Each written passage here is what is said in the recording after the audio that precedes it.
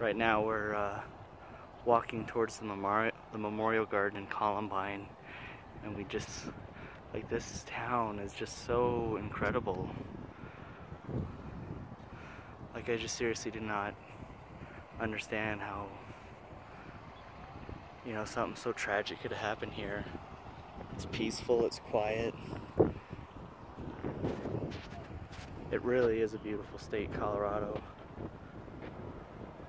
But you know, we're all totally depraved human beings. So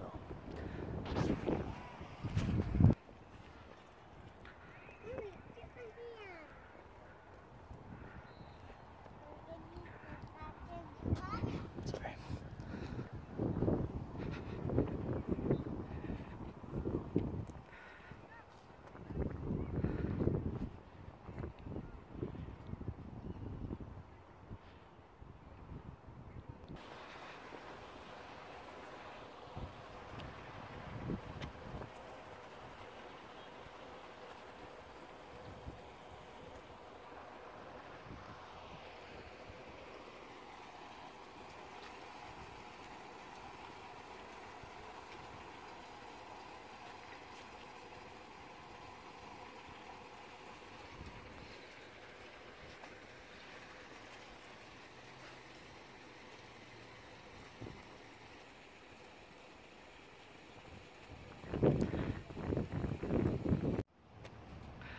Here's some of the stones that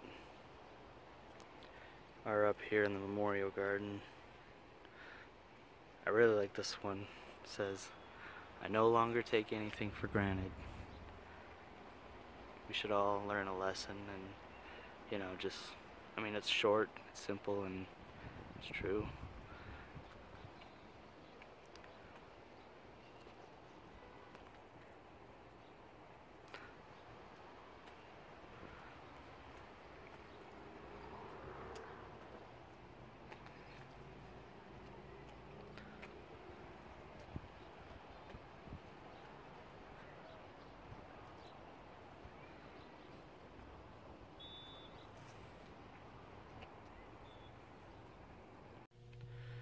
What's going on, everybody?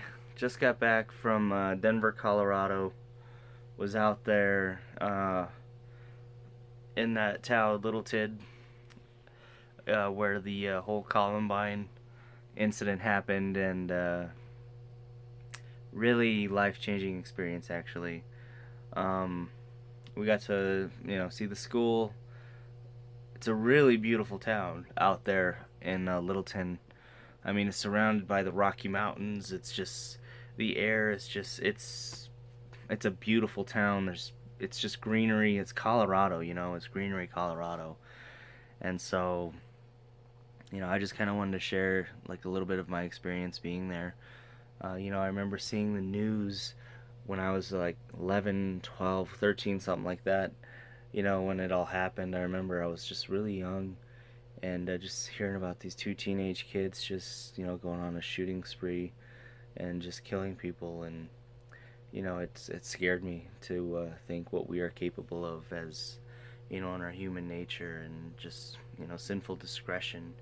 But yeah we uh, we were out there got to see the memorial garden for um, you know uh, the teacher Sanders and just all the other students Rachel Scott um, and everyone else, you know, I'm I'm really bad with names. I can't remember them all, but those are the two that stick out to me the most, you know. And uh, there was also that one kid that was killed just because of the color of his skin, um, you know, which is never uh, never good. You know, racism is just it's a, I I just don't understand how how we just we are so hateful as human beings, you know. Uh, but I guess it's just because that's just how we are in our nature. We just we're just hateful. Um, we have to unlearn it. You know, we have to unlearn that that way of thinking because it's racism is what's destroying our us as a country, us as human beings. You know, we're not progressing any further with uh, with that mindset. And so, yeah, today I just wanted to share, you know, just being there. It was haunting, you know, just thinking of what, remembering what I saw, being in front of the school, remember seeing all the SWAT team pull kids out of the building, uh, seeing SWAT team on the houses, you know, that were in front of the school, and you know everything like that. And so everything that I've seen from Columbine has just been so bloody, and yeah. But anyways, what it did for me is that it humbled me, and it just made me think and be more grateful that you know I'm alive. You know, recently we lost my dad this past year, and something that I have that I'm learning is that we're, you know, we were born to die. You know, uh, we're fragile human beings, and we shouldn't take things for granted. And so, you know, being out there, it's a really humbling experience, and uh, it really changed me a lot. So, I'm more grateful to God that I'm alive and that I have my health. And so, just wanted to share that little update. Well, anyway, hope you all are blessed. Have a great day. And uh, more vlogs to come soon. More random goofiness that I always do. I love doing it just for the fun of it. You know. So, anyways, take care, guys.